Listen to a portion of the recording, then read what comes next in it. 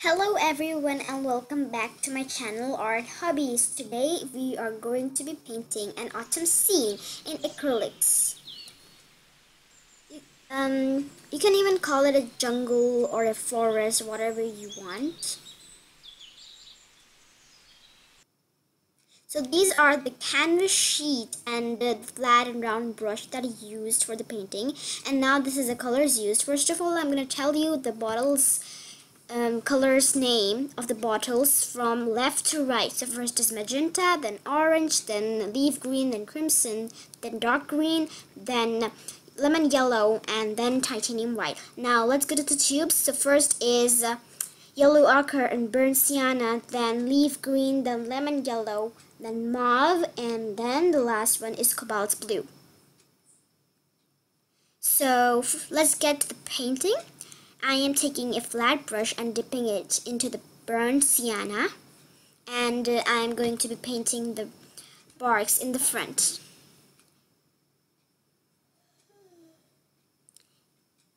And don't forget to like, share, comment and subscribe to my channel and hit the notification bell so that you'll be notified when I upload a new video.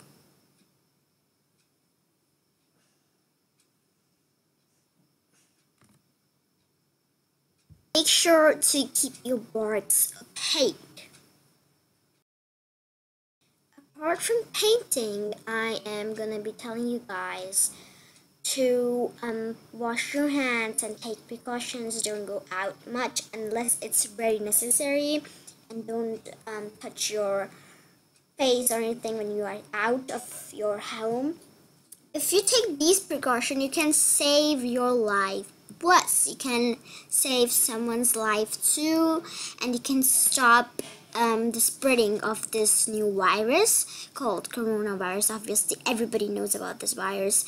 And yeah, stay at home and do painting. Enjoy painting. Painting is really fun, okay? let's get back to the painting. So I'm gonna be telling you guys to not to uh, mess up with the edges of the bark. So first of all, you need to make it neat. Make the edges neat, but not straight. You know what I mean? Like, don't keep it really straight. Otherwise, your painting will look like a kid's child's painting um, and try to give it a natural effect. If you keep the bark's edges straight, your painting will obviously look like a kid's painting. And that's what I want to say. And the second thing I wanted to tell you is if you are really new to painting and if you are a beginner, don't try to do this painting free-handedly because you will obviously mess up if you are doing this painting free-handedly and I also made a sketch here um, with using Apsara pencils, Apsara pencil. You can easily erase any mistakes you have done with the pencil with the rubber on this sheet. So yeah. And the next thing I wanted to tell you guys is uh, if you ran out of any art supplies, um, you can easily purchase it from Amazon all the online shops, uh, online shoppings are open so you can easily order them. Now I finished painting my barks and now I am making my barks more darker by adding a bit of black into my burnt sienna. I am making them dark because I want to make my flowers and the bushes look more brighter and you can see I've added some small and thin um, sticks behind the barks or you can say in between the barks uh, and also you can see in the bar the bark in the corner I left some patches there because I wanted I want I'm gonna be adding like um, bushes there green bushes and I've used a small round brush to make the thin sticks behind the barks.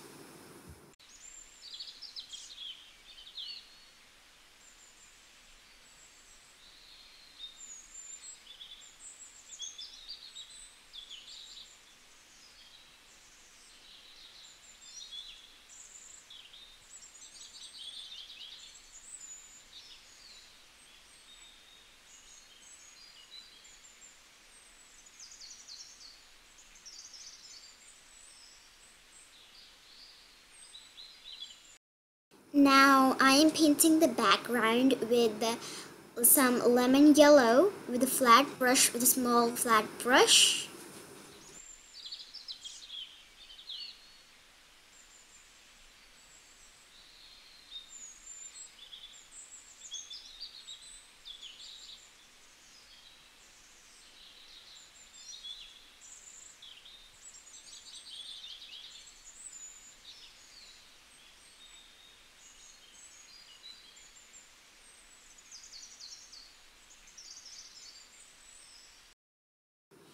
Now you can see that I finished painting my background and um, you should be really patient when you are going around the stems um, which are in the background.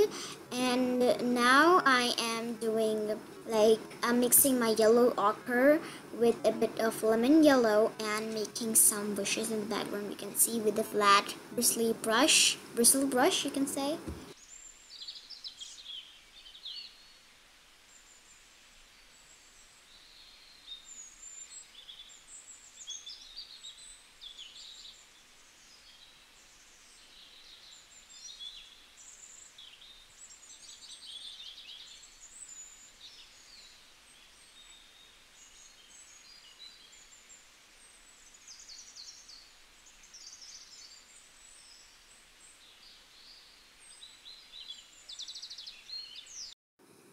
um, now I am doing the trees which are in far background and with a bit of uh, yellow ochre and with a bit of burnt sienna and with a bit of lemon yellow with a small round brush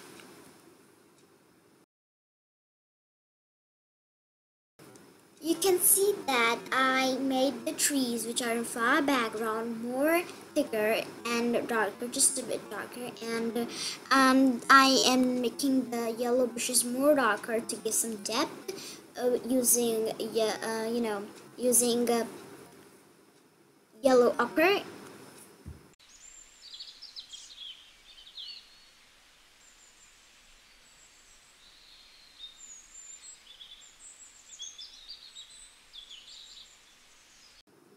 Now you can see I am painting that corner with a, a uh, green with a flat brush.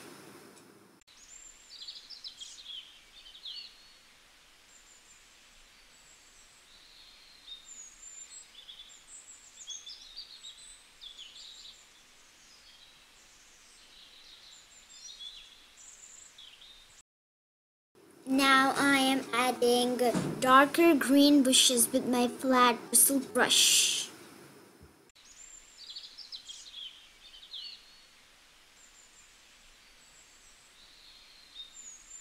And now I am trying to blend the bush effect with the smooth paint, which is at the bottom.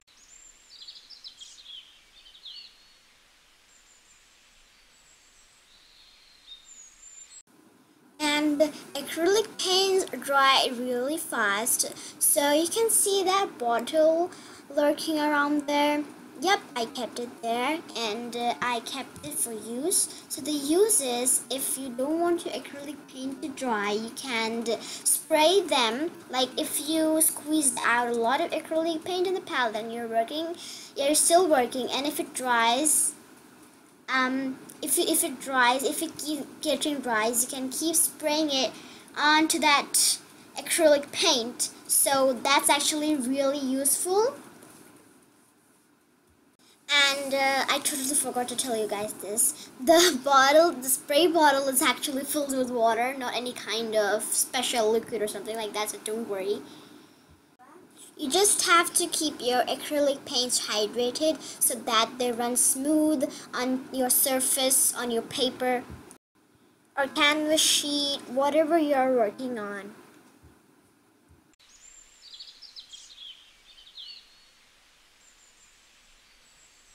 Now I am doing the bushes on the bark and um, now you understand why I left the patch. And I am using leaf green and make sure that leaf green is really opaque. And I'm uh, again using the flat brush bristly brush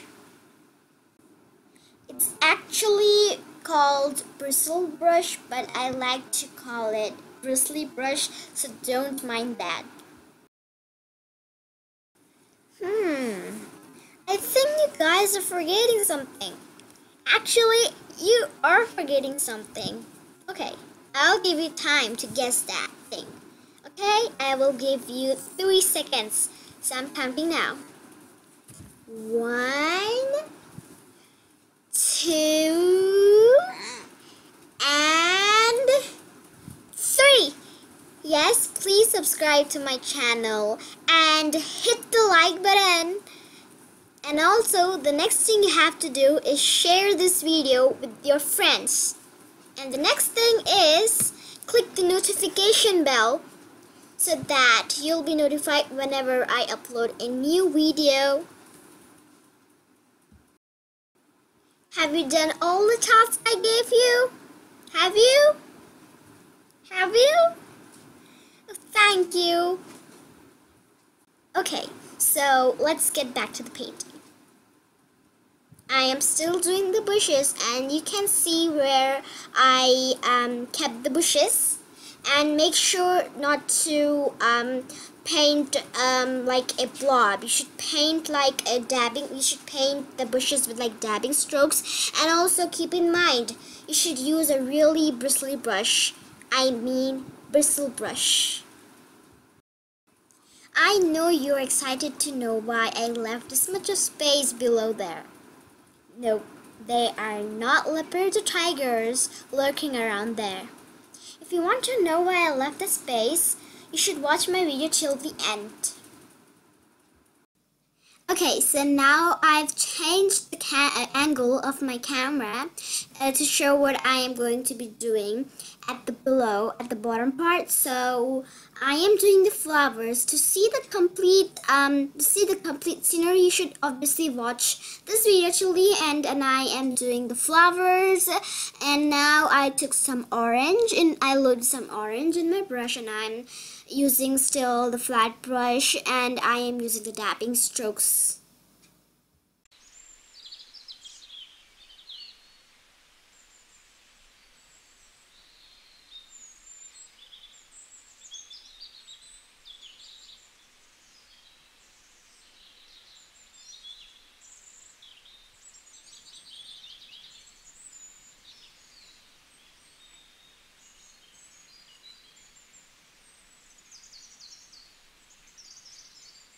now I'm I'm taking some yellow to make the highlights. Um, if you want to play with your highlights and if you want to play with your depth, you can obviously do that with, um, with your paints and everything. It's up to you how you want your flowers. And now I am using magenta. And you can see that I am blending my magenta with the orange and I'm blending my orange with the dark orange you can see and I'm still using the flat brush so the next thing I'm going to tell you guys is this half of the painting is actually an abstract painting, so don't worry about that. And I think this is time to tell you guys what I am doing here. So I am doing a, you know, wildflower area here. They are flowers and uh, that's the easiest part of this painting, so don't worry.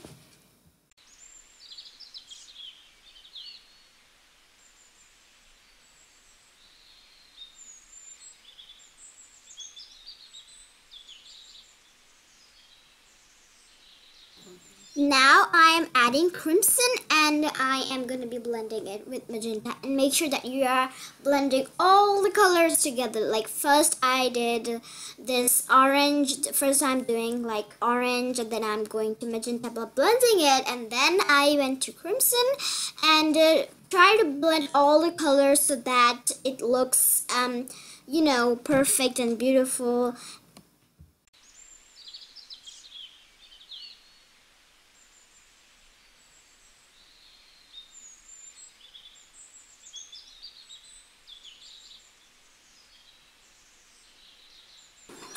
the thing that got me into this painting was obviously the concept of colors and concept of flowers. It seems like flowers, uh, uh, this, it seems like nature is trying to tell something Um, it's really beautiful. The painting is really beautiful. If you want to know the final result of this painting, watch my video till the end.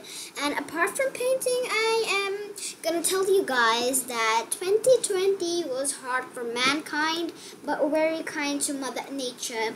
As factories are closed down and smoke disappeared from the air, Birds sang happily, the air freshened up, our ozone layer got um, cleaner, and flowers bloomed more brightly. The lockdown was a blessing for nature. We must remember that humans and nature coexist and we must respect the laws of nature after things get back to normal.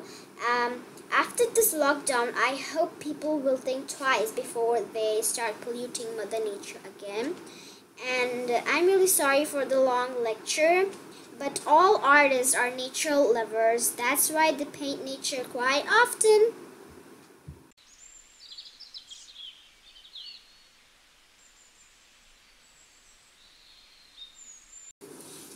And if you're getting confused about the colors of the flowers, I'm gonna repeat the names of the colors um, that I use for painting the flowers. So first is orange, then yellow, then dark orange, then magenta, then crimson, then mauve and cobalt blue and some leaf green or you can say light green. I've also used a bit of dark green too for depth and uh, light green for highlights and everything.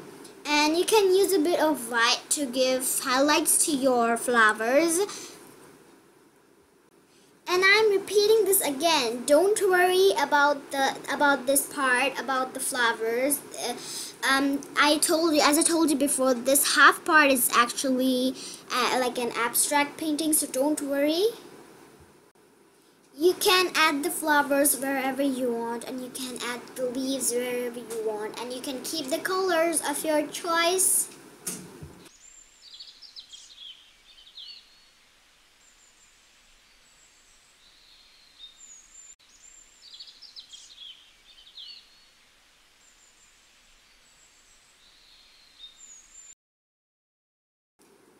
I know things are getting hard for all of us, but try to do something good. Try to feed uh, poor people. Try to help a friend, friend uh, do prayers. We all need blessings from God um, to um, fight this virus, and I really hope that this virus um, gets destroyed very soon. And uh, um, you can. Uh, pray and you can feed the poor. You can try to feed animals. Animals, stray animals like dogs and cats, stray cats and, and dogs that are all hungry because there are no, uh, no one to feed them and try to feed them. Like when you're going out for uh, really necessary things, try to, you know, give them something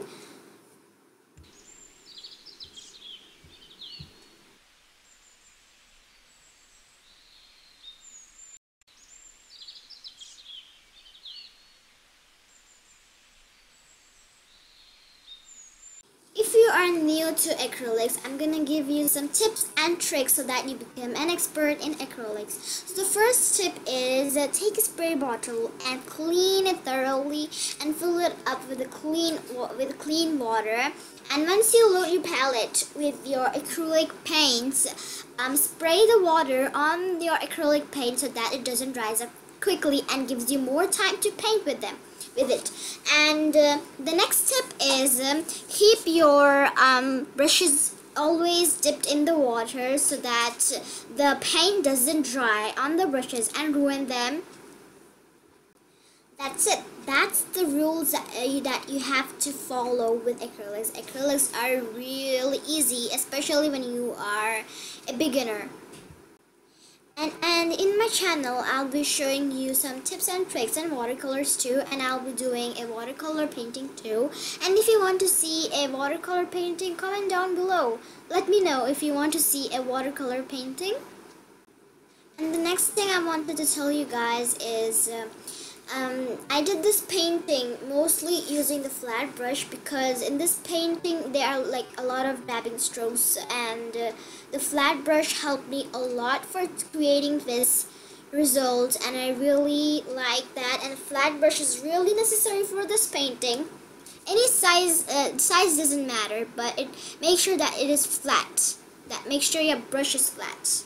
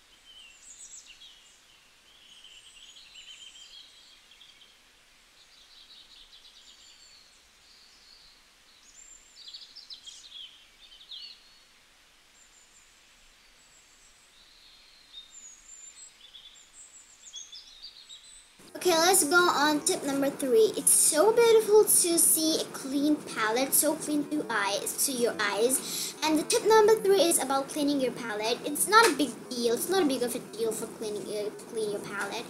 Um, first of all, you should just rinse it off. Then you should scrape off the acrylic uh, acrylic paints. And acrylic paints peel off really easily after they dry dry up. So don't worry about that. And uh, yeah, that's all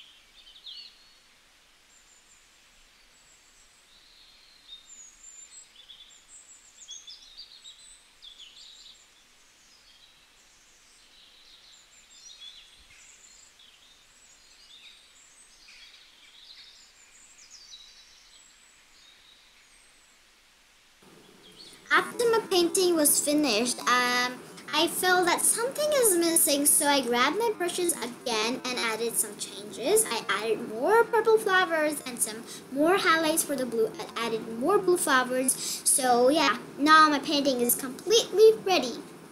Enjoy. and uh, make sure to like share comment and subscribe to my channel and i'm i'm so happy that i have i've reached 30 subscribers but i know you'll that make that happen. You'll make my channel have more likes and views and more uh, subscribers. So I hope everybody are safe and sound at their homes. And uh, yeah stay tuned for more videos. Bye everyone